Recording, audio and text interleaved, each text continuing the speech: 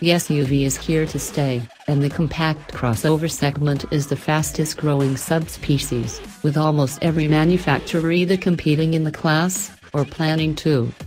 On the whole, it's not a dynamically gifted class, with stop complaints about iffy rides and stodgy handling stemming from the roughy-tufty raised hatchback's higher suspension and centers of gravity. But here we have the 10 best compact crossovers money can buy. 1. Citroën. Top of the pack in the burgeoning crossover segment is an accolade, but a staid interior and bland handling underpin a roomy supermini SUV with admirable refinement.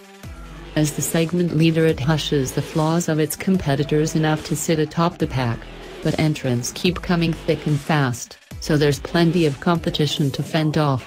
In a class pitched for style and perceived practicality, the Citroën does it better than all others, with slightly higher pricing than the class average offset by top-notch infotainment and solidity.